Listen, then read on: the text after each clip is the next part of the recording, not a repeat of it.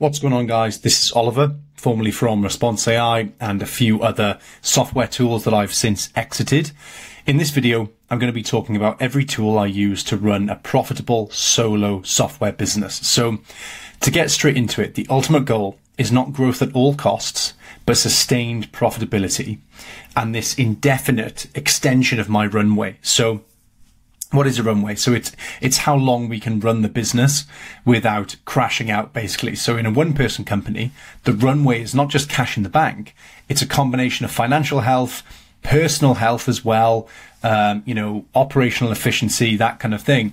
And every application, subscription, API, every line of code, that kind of thing, all of this is my stack, and it's a decision. Uh, and it's not about having the trendiest stuff, but it's uh, you know the stuff inside my stack that actively actively makes me revenue.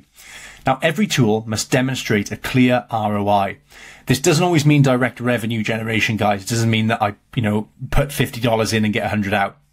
A tool's ROI can manifest as, you know, significant time savings, which I can reinvest into building or calling people or having meetings, whatever it may be or as a direct reduction in actual costs.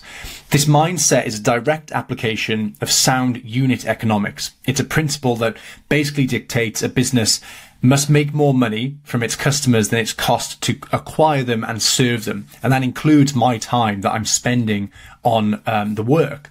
Now, this learning curve is a hidden cost that can bankrupt a solo founder's most precious resource, which is cognitive energy, guys, like your brain adopting a tool that doesn't align with where I'm at with my skills, it kind of forces me to spend less time building and selling my software and, and more time basically faffing around and, and fiddling around with someone's software that I, I don't understand. This principle is an extension of the founder idea fit concept that I've talked about before, where a founder's unique knowledge and skills gives them an unfair advantage. I know that I'm not very good at just coding stuff from scratch. I typically need help with AI to make beautiful things. I choose a founder tool fit um, in my choice of tools that leverages what I already know and it allows me to move faster with less friction, right? So in this big list, you guys can, you know, pause it whenever you want, but it basically shows all the tools that I use. And you'll see guys that a vast majority of them are free and almost none of them are necessary. Uh, I think at the end, my total tools for running, you know, softwares, multiple softwares that run me thousands of dollars a month, um, it cost me something like less than $70 total per month to run these things. And I'll show you how to do all for free the high fidelity sales engine and demos. So Screen Studio, guys, is how I make these beautiful videos. Okay. So this one that I'm showing you now, I use Screen Studio. Canva covers my static visuals. So the actual screen that you're seeing with the text and the, and the images. And for this, um, actual demo with like the shadow and that kind of thing, I use Screen Studio, which costs around, um, it should say $29 per month. But if billed annually, um, it's about $9 a month, right? Now, this is one of the few recurring software costs in my toolkit, but it's only annually. Um, and you can also get it typically on a Black Friday deal. It basically adds like smooth zooming. Like if I just like move my uh, mouse around, you'll see that it adds some zooming and that kind of thing. I'm actually going to turn off um, that magic cursor thing. Um, hide magic thing. There we are. Um, and you can see that it's really pretty on the landing pages for two of my previous softwares. Um, the product demo was actually created with Screen Studio, which is really cool. Now, a high fidelity demo does more than showcase functionality. It builds this trust, right? So when you are trying to sell a software and you have this beautiful demo with something like Screen Studio, it signals to a potential of customer that you are meticulous, that the product is high quality and that care has been put into every detail. If my landing page looks beautiful, has a cool demo, what's the product going to be like? It's probably going to be pretty cool and pretty good the modest cost of Screen Studio or other different things of Screen Charm, all of these, it's a direct investment in my conversion rate for customers to, you know, come to my uh, website. Now, I don't post my like product demos and stuff on YouTube. My target audience isn't actually browsing YouTube really, you know, for, for solutions that I'm building. Instead, I deploy these videos at the point of sale. So on the landing page or on a demo page or on onboarding. And that's how I get them, my money out of it. Now, the modern engineer shipping software. So my primary development tool, guys, is Lovable. Okay. For a monthly cost at around $25, but it's free for five credits every day. And you can do a lot with the five credits. It allows me to create these full stack web, full stack web applications using natural language. So I literally just talk into my mic or I just type in natural language, make this bigger. I don't like how this looks. We're building this and it works. I also use Cursor, which is a sort of AI native code editor, but I use it sparingly. Cursor's Pro plan starts at 20-ish dollars a month, but its usage-based credit system can lead to unpredictable costs, and sometimes you get bitten, right? Now, my preference is lovable, and this is despite having around six years of coding experience. It's an illustration of the competency competency match that we talked about earlier. It's not about lack of technical skill. I think I have decent technical skill. It's about the strategic allocation of my most valuable resource, guys, which is my head, my brain, my time, you know, my effort. While Cursor is an incredibly powerful tool, it's one of the best ever that I've ever seen. It requires more energy investment from me because it manages files and that kind of thing.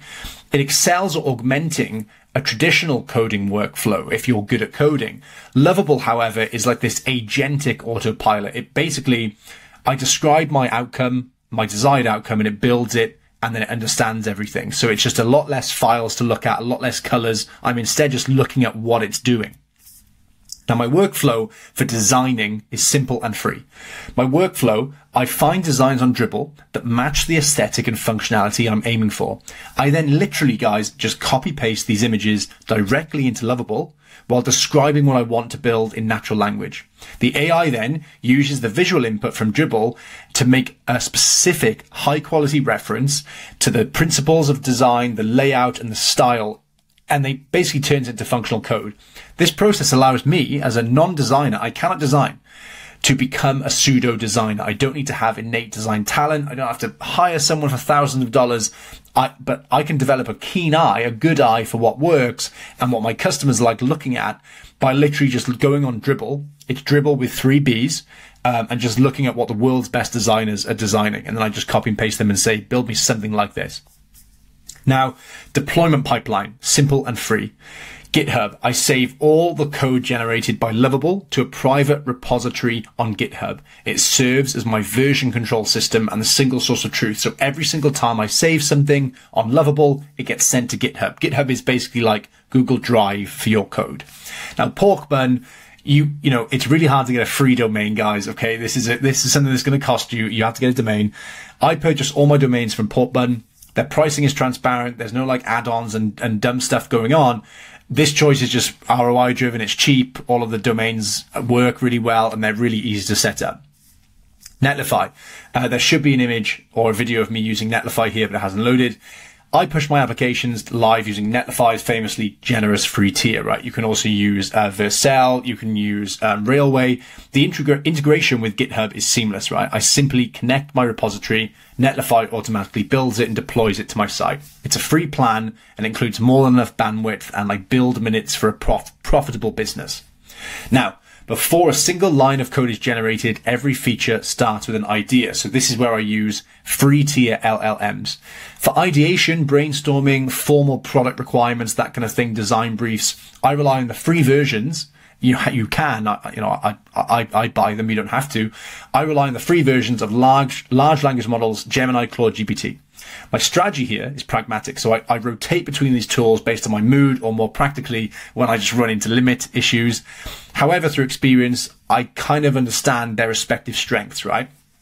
So this is just a PRD, a product, um, you know, a, a sort of deconstruction and analysis of Canva for me to build a competitor of it. Gemini feels the smartest for understanding context and research heavy tasks because it's fed by Google, right? Like Google is its brain it's rich with information. And when I'm creating a PRD, it gives me like market awareness and what, how to sell it, that kind of thing.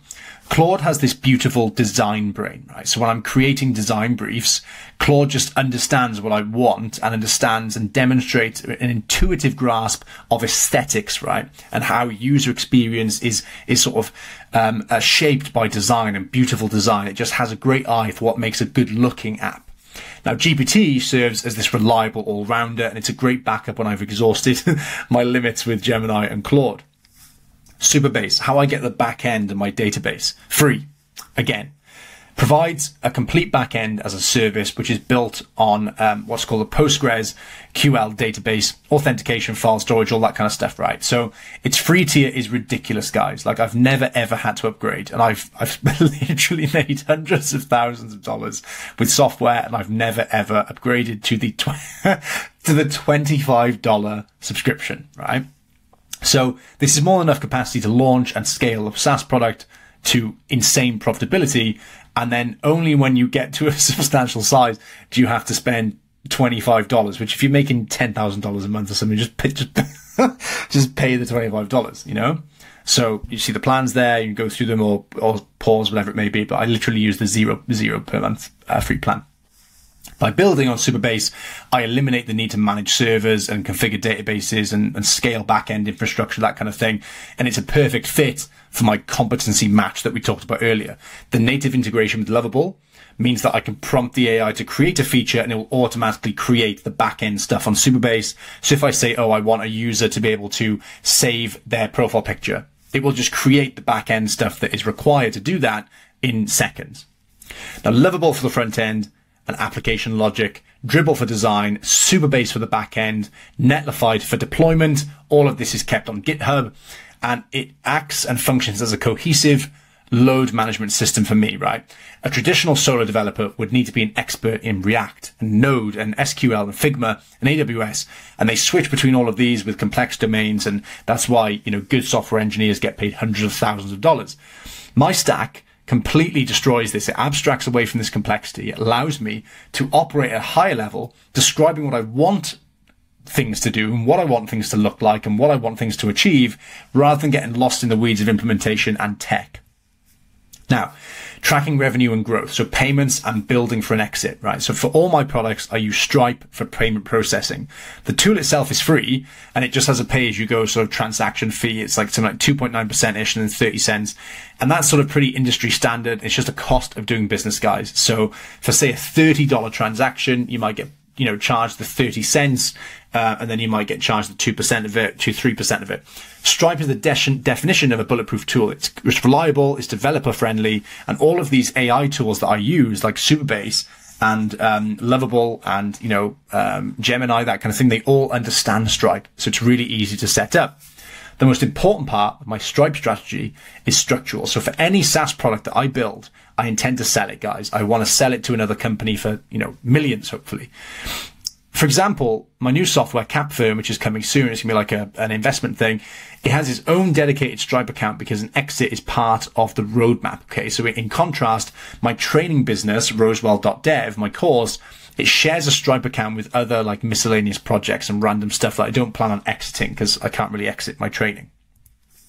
Selling a business is easier when all of the finances are cleanly separated, and that's why you should have a new Stripe account for a new software.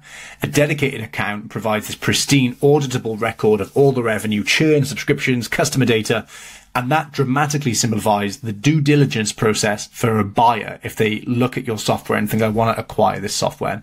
It removes ambiguity, smoother transactions for it, and it builds buyer confidence because, you know, they're just happy that you've got everything sorted and in one place.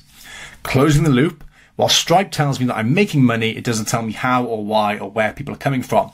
To answer that question, I just use DataFast, guys. It's an analytics tool that costs me $9 a month, and the small monthly fee is a crazy ROI because it tells me exactly where people are coming from.